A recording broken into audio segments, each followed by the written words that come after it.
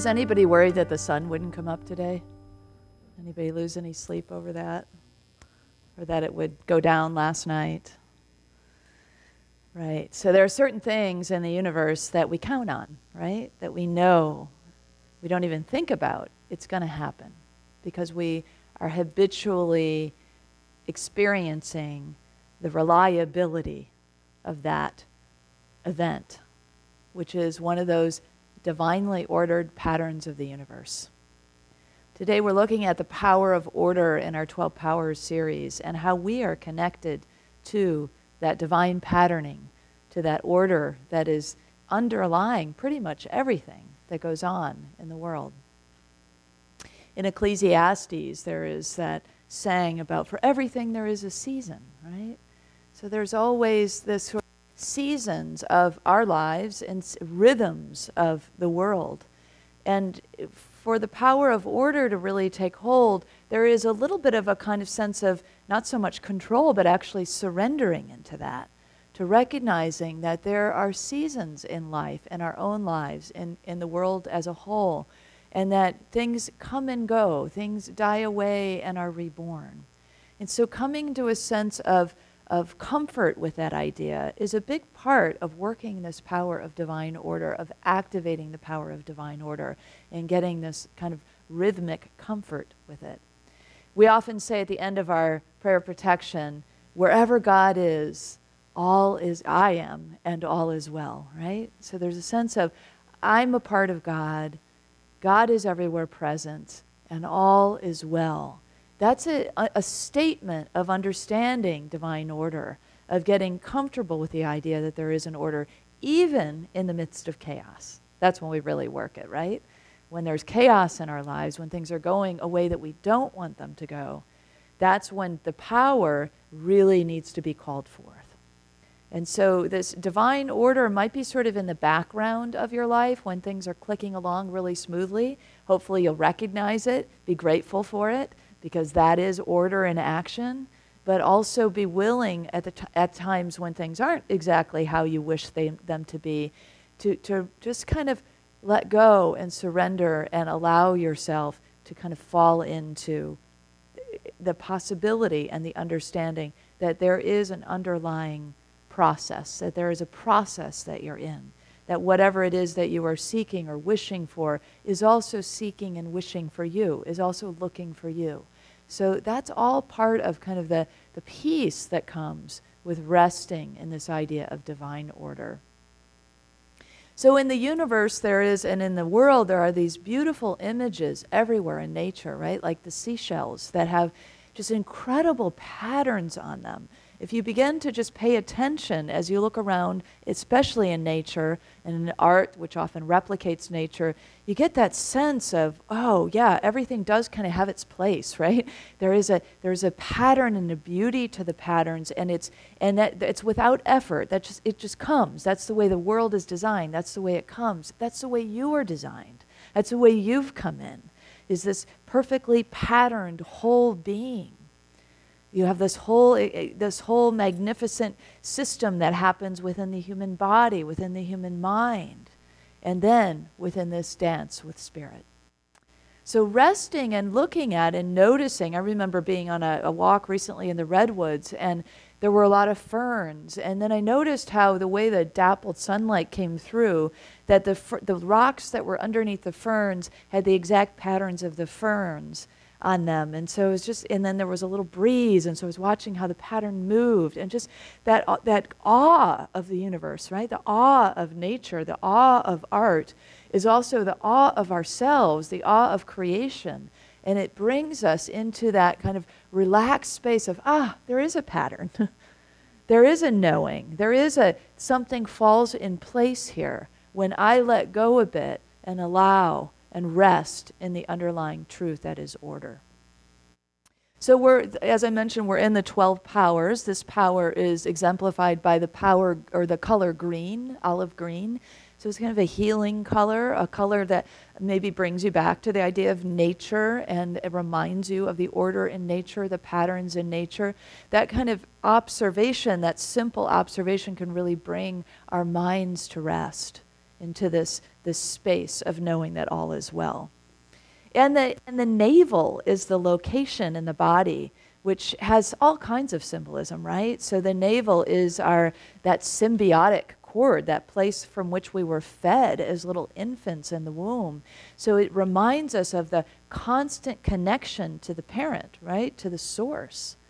So it, it's it's kind of a source related power that that we can't really understand order if we don't uh, recognize that that constant symbiotic relationship, that constant connection that we have to Source. And to take from that, to allow ourselves to receive from that the, the spiritual food that is always available to us.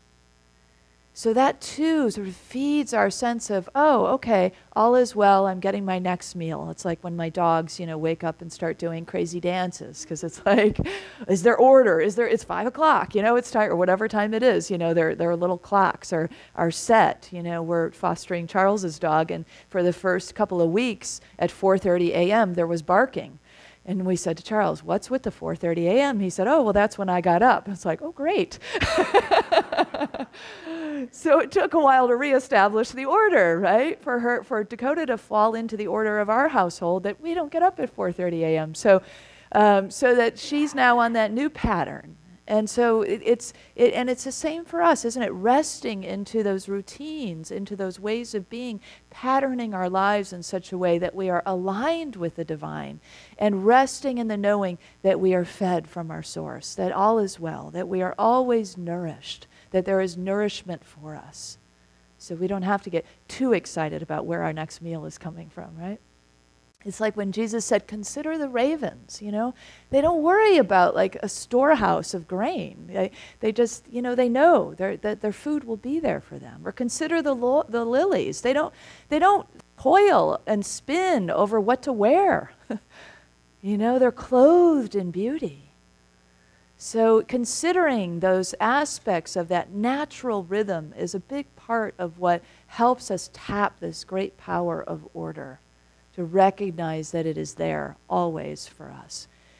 Also, this power of order is, is symbolized by a couple of different people, biblical characters. There's always a disciple that's aligned with each power, and then Letty Hammock uh, assigned uh, women of the chalice, significant biblical figures, uh, female figures, with each of the powers as well. In this case, James, um, uh, or uh, um, hmm, what's her, Mary, I'm sorry, Mary of Alphaeus, is um, the mother of James, one of the disciples. There's two disciples named James. And Mary of Alphaeus was one of the women who really kind of took care of Jesus' ministry. You know, there was a group of women that was key to that ministry being a success. They took care of all the logistics. So think about it all. You know, you're traveling around with a tribe of people. People are going to need a place to wash their clothes. They're going to need food. You got to kind of have a travel plan. You got to go know, know where you're going and maybe even plan for where people will be gathered so that the teachings and the healings have an audience. And so all of that was done uh, scholars understand by this key group of women, the women who were there at the foot of the cross, that were there at the, you know, these really key times. So Mary of Alphaeus was one of those people who was believed to be Jesus' aunt, um, Mother Mary's sister. And so then her son was one of the Jameses. And the two James, one of them is the power of wisdom, and the other one is the power of order. These two are connected. Um, there's a neurological connection between the two. And so the two powers work together wisdom and order work together. And so we're going to talk a little bit more about that as we unpack this a little further. So, um, so what about you know when things don't go according to plan? You know, in order, if those of you, if, if you're one of those people like me who like enjoys office supplies, anybody enjoy office supplies? Yeah, right. So there's a sense of innate order to that that just gives us sort of a sense of satisfaction, right? There's something about that, the cleanness of that, like the back to school supplies the kids go and get. It's like, oh, I want to go buy Grace her her school supplies, you know because there's something about that, like the blank sheets of paper to me and the pens. The, there's anticipation, but there's also order. And it's the same as it, the same sense of satisfaction that you might get when you clean out a drawer or clean out a garage or clean out a closet. There's that sense of decluttering and opening up space, space that is now kind of like a new blank canvas to be to be used to open up the energy. So as you're working with this power of order this week, you might want to do that, you know, declutter your sock drawer or your junk drawer or, or take on the whole garage or whatever it is, because that also, as we know, is a key part of our prosperity teachings, opens up the flow of energy. And so as we open up the flow of energy, abundance can move through our lives. That's it. We're kind of creating the space, the orderly space for spirit to move, for energy to move, which is money, right? For, for money to move, for love to move, for whatever it is that we're desiring, whatever aspect of prosperity we're desiring to open up and move.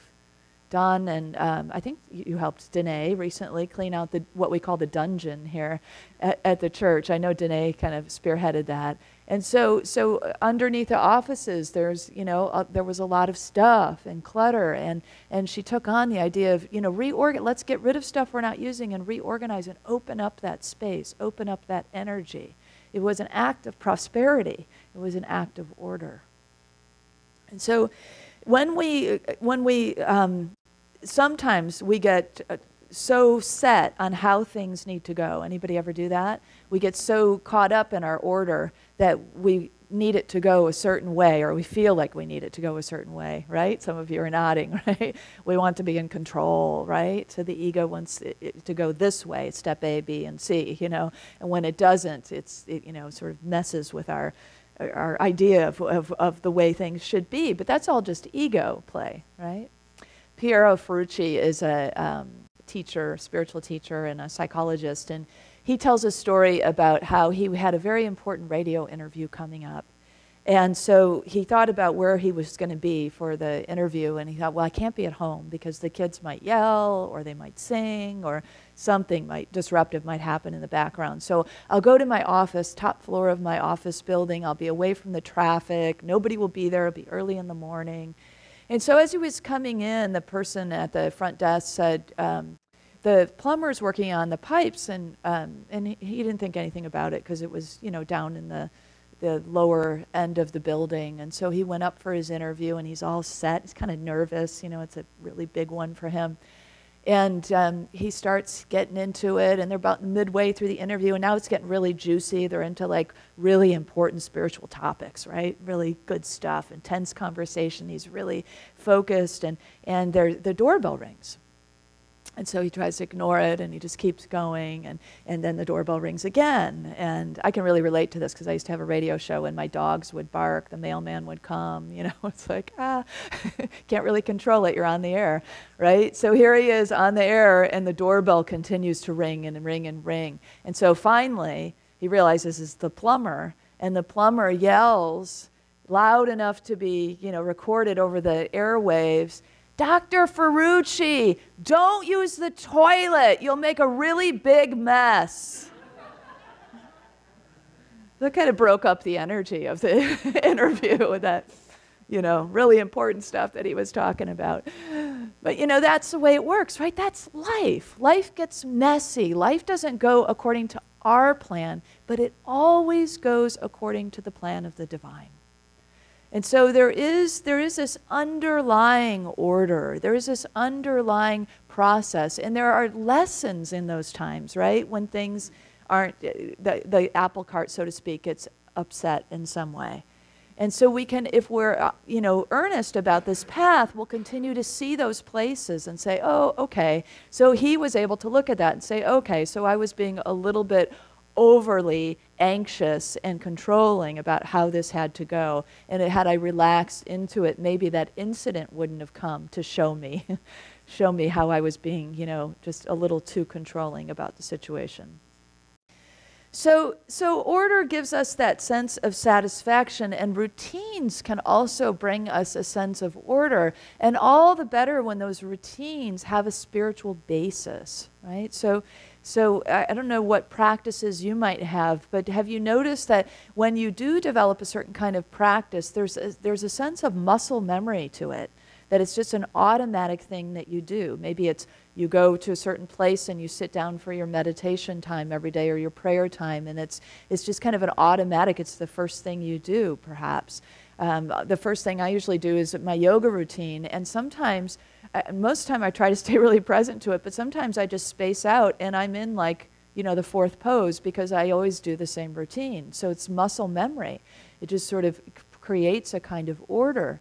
And so for that that really can be very helpful to us to have these kinds of practices, even though we want to stay present to them, but to have those kinds of practices where it's just sort of we know that it helps us in some way. We know that it's a good practice for us, that it supports our our livelihood, our our, you know, our well-being in every way, physically, emotionally, spiritually, mentally, and so on. So whatever that is for you, whether you're thinking about establishing a new practice or you have an established practice, you know, allowing yourself to really fall into that rhythm and that pattern is a big part of how this sort of, what I keep talking about, this kind of divine order, this divine patterning is already kind of set. It's already there.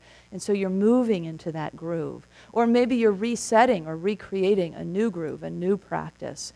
And, and letting go of something that doesn't really serve you. Maybe turning on the news first thing in the morning and having your cup of coffee isn't really setting the day the way that you want to set your day. Doesn't mean that those that activity that may be important to you isn't a part of your day, but maybe that's not first. You know, it's just like in prosperity when we we we tithe first. It's it's a it's a faith practice. It says that this is my most important priority. It sets the tone for our days and for our lives and for our abundance. It sets a kind of order to things. And so if we automatically receive and then say, okay, 10% is going out to where I'm spiritually fed, there, there's a kind of a practice and an order and a groove set to that that can't be shaken. You know, I sat with a financial planner recently and he tried to talk me out of tithing. And I was like, you know, I know we don't have a lot of time here, and truly you're wasting your time because there's no way I'm budging from that. So he's like, oh, okay. So then we had to move on. But from his left brain world of thinking. He couldn't understand really the principle and what our principle is all about. That there is there's an abundance in that practice. That is that there's a, a, a whole process of, of the law of circulation in that practice. And so it's those practices that we really hold dear to our hearts. Uh, that those are the ones where we want to create that kind of routine, that groove, that muscle memory, that knowing that this is what I do because when I do this, I'm aligning with the divine. And when I align with the divine, there is that sort of things click in life, things move according to a kind of grace. So it's, it's both this dance of, of that requires grace, but also requires steps. You know, when we learn a dance, we learn the steps, right? So there's a little bit of a process of practice and learning the steps. And so we don't just necessarily, although we can free dance, and that's wonderful too, but if you're learning, particularly if you're learning partner dance, there has to be a process, right, of, of how this thing goes. So where's the beat and where are the moves? I remember being in a dance class once, and my partner was, neither of us really, we were brand new to it, so we were just learning lessons. And, and um, he couldn't take the lead because he didn't really get what he was supposed to do. And I was getting frustrated because there was no lead, so I started leading, and then we were stepping on each other, you know, so there was just a lot of this sort of a lot of left feet. There are four left feet, I think, in the game. And so there's, there's that kind of um, process that we have to learn then. And so if we recognize in the process of divine order that the dance is with the divine in us, and we have to let the divine lead. So when the teacher stepped in, in my scenario, and, and started to lead, I could follow because I was getting clear guidance. So he was nudging me here and there, and I knew where to go. But otherwise, you just, you know, without the leadership, somebody's got to take the lead, right? And that's often what we do in our spiritual walk is we're not attuned to spirit so much. We're not so attuned to the divine. And so we start to assert our own control over the situation. We start to, to lead where there isn't a kind of sense of grace. So if instead our order is set to the patterns of the divine order that is the, the way that's already there, that's already available to us. And we kind of put our practices on top of that that allow us to match up with that. Then we can be in this dance where we are, with wisdom and love, dancing those two powers, where the wisdom gets the guidance. Gets it, and then we allow it to take the lead, and then we create the order the, the practice, we learn the steps so that we can follow. Or we even sometimes set the steps, but we stay attuned to the divine so we know then, okay, is this the right way? So we step in this direction. We check in again with wisdom. Is this the way to go? And then there's a sense of order. Yes, we get the green light, we go further. And so on. So so it's that, that constant dance that we are in that is available to us that can create this sort of lockstep rhythm, this, this divinity that we want to be, this divine path that we want to be on. But as I say, there's a process, right? There's a process to learning and giving ourselves some patient birth to learn, you know, some, some kind of uh, open space to learn the steps that we want to learn or that we need to learn. So getting back to nature again, it's like, you know, the, the spider learns to spin its web, right? And so you could see this, you know, there's maybe wind has come along or maybe the spider is learning to spin its web. So it's pretty good web. It's pretty, you know, beautiful web, but I've, I've seen some that are amazingly symmetrical, as you probably have too. And so, but it probably serves the purpose it's, it, it catches what, what that spider needs to have to be nourished that day. It's so that there is a process, I imagine. I don't know how spiders, they, they innately kind of know how to do this. I don't know if there's a process of somebody teaching, but there is a, a sense of, of, of learning the, the process and, and maybe improving the process. So if it doesn't catch what you need to catch, maybe you'll, you'll work on it and make a better web. So there's maybe a, a more beautiful web that you could create, one that has a little bit more symmetry to it, and uh, the, the dew falls on perfectly, and there's a sense of all is right and well with the world. So it takes time and it takes effort to get to that, that, um, that place where we are in that flow Brenly told me about when she, you know, wanted to, well, she wanted to stop doing some uh, things that she was doing that weren't working in her life, and she didn't really know where to go next. And a friend of hers gave her a Buddhist book that had the steps to meditation. And so she's, this is all brand new to her. So she just, she followed the steps. Get out a candle, you know, put the candle on a table, light the candle, breathe, you know. So she literally followed all the little pedantic steps to get in the rhythm of meditation. And so it may be that for us that we, we kind of line out the steps or we read the instruction manual to get a sense of order, and then we adjust as we go, right? Then we move ahead as we go to the next thing and the next until it feels like it's a, a natural dance. And it is innate in us, isn't it, to, to move, to, to move to the rhythm of spirit. It's like, have you ever watched the babies, that, the baby bounce dance? You know, they, babies, they like, they have that natural rhythm, right? They hear the music and they start bouncing. And so it is for us if we just rec, if we just relax into the patterns that are set, if we relax into the divine that is, that is underlying every breath of our lives, every heartbeat that is there for us to connect with, then we'll know what the next step is and the next step. So it's no mistake that, the, that wisdom is exemplified by James and order is exemplified by another James of the same name because they are so interconnected. Because we must be connected to that, that lead, that guidance to know what our next step is and our next step. To feel that that balance and that rhythm, and then to let ourselves kind of move to that rhythm in the next step and the next. Have you ever seen a whirling dervish? There's a whole process to how those dances happen. Are you familiar with that? The Sufi dancers, they spin and spin and spin, and usually in there you'll see the big white and black robes. And um, well, it's something to see. So maybe look it up online. We could, I could have shown it to you. I didn't realize a lot of people hadn't seen it. But there's a, there's a whole process. So there's a way, of course, in which one hand goes to the heavens, and one hand goes to the earth. And then the spinning happens on the left foot. So the left foot gets grounded. And then there is a turning, that's a whirling that starts to begin. But it is centered in spirit and, and sort of tied to both heaven and earth. So there's a sense of balance in the order of the whirling dervishes dance.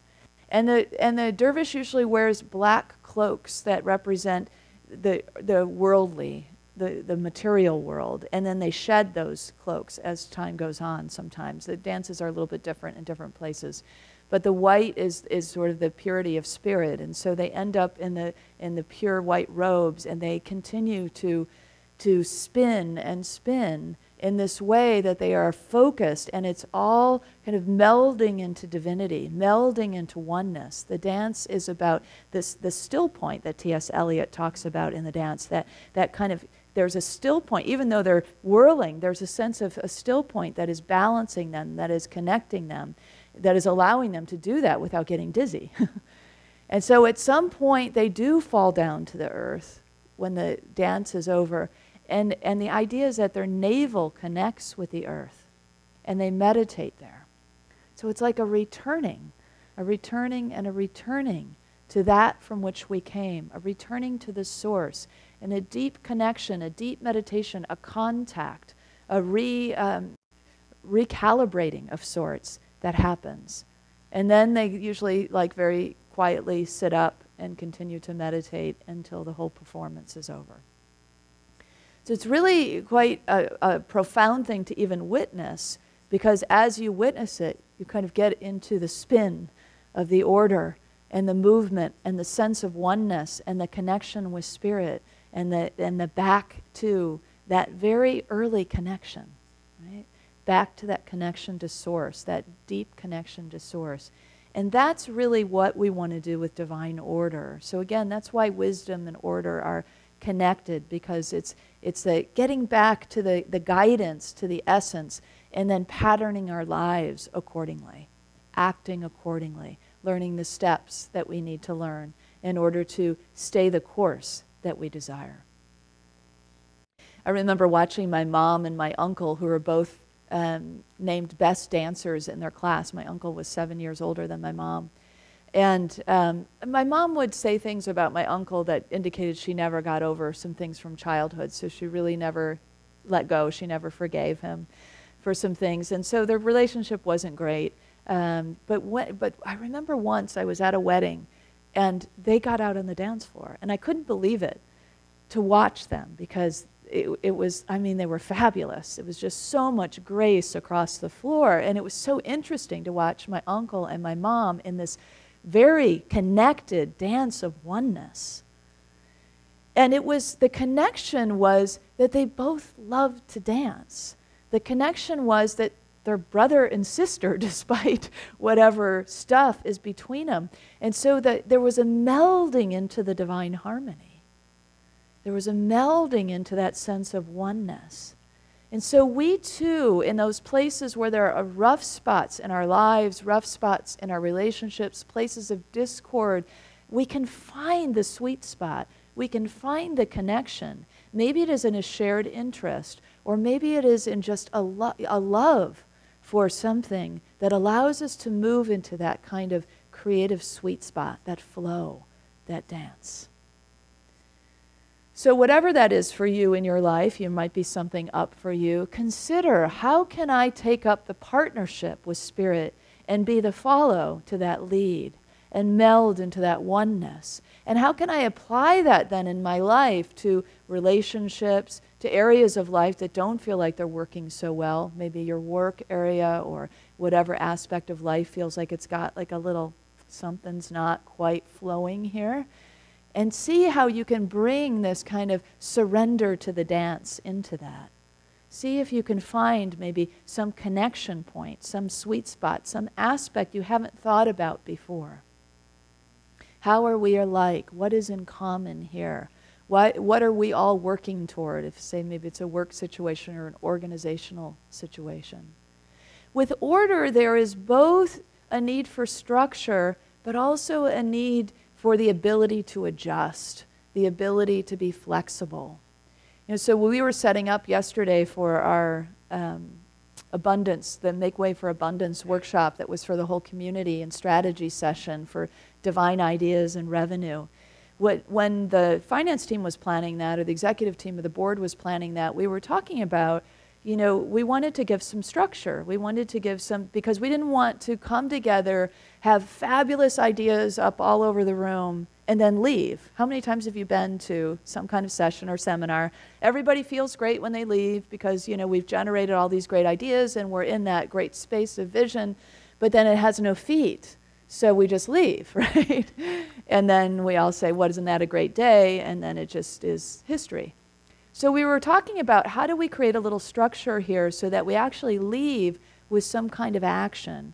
So we really honed it down to, you know, we're going to we're going to vote on the top three ideas, and then we're going to have an action, kind of an action plan. But then somebody on the team said, well, not too much structure, because if I know if it were me and you told me that this is the way I have to do it, then I'm not doing it.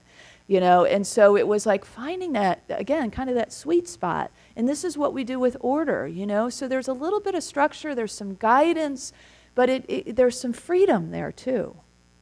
And so we had, you know, basic steps of, you know, come together as a team and here's the leader and here's come up with your first action step in your first meeting. And that was it, you know. And so now we left at the end of the day with, uh, with something in hand and with teams formed and with leaders in place and a plan to carry forth those ideas. And so it's the same with order in our lives we want kind of a game plan. We want some practice steps. We want, a, we want an idea and an intention of where we're headed. We want to set some order. But we want to base that first on the divine. We want to open ourselves, which we did in our session yesterday, open ourselves to receive the vision that Spirit has for our community. Open ourselves to receive the divine ideas as they want to come to us in symbols and color and form. And then we put it into a kind of order, a kind of action plan. So it's the same with our lives, isn't it? Wherever you are finding those stuck places, first surrender, first listen, first allow the lead to be the lead in the dance, and then follow, and then set the course of some of the steps that you'll take from there as you continue to dance in the partnership. Ah, so we've been on quite a dance. We've been uh, a little bit all over the place. but um, the one thing, one other thing that just um, really struck me, and as I was planning this talk, was really sitting, kept coming to me, was the movie "What the Bleep Do We Know?" Does anybody has anybody seen that? Yeah, it's an oldie, right? But it, when it came out, it was really very pioneering because it was science and spirituality together. We were learning about neural pathways and and that's a big part of, of order, too, is reordering how we think. So in the movie, if you remember, there's a, there's a kind of a character story about love and, and hurt and getting over the hurt and rage. And, and so she has all these feelings that come up and she's blocking any love that could possibly come to her. And they, and they show how the brain works. So there's a neural pathway there that says when I remember this, there's a feeling of rage, and then there's a feeling of sadness. When I remember this, there's an image, there's a feeling of rage, and then there's a feeling of sadness. So we create this groove, a neural pathway, right? And so what we need to do is break that pattern and create a new order. So sometimes we need to reset what isn't working and to create a new neural pathway. And in order to do that, we might shift over to a place of blessing, of gratitude, of the things I learned, of the ways that, and, and to begin to feel into that too. What feelings we feel. I feel a sense of flow. I feel a sense of ease. I feel a sense of relief. And every time we, we have that repetitive pattern, that arm of the neural pathway moves from the old groove of rage and sadness and memory to flow to ease, to gratitude, to joy. So it's, you know, as we re, kind of reset ourselves to align with the divine and to be in this order, we, we reset, we, we create the sense of, of order for how we want to move forward in our lives in every way.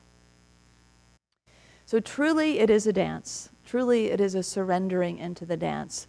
And that is what we are all about when we are setting the pathway of order, when we are activating the power of order.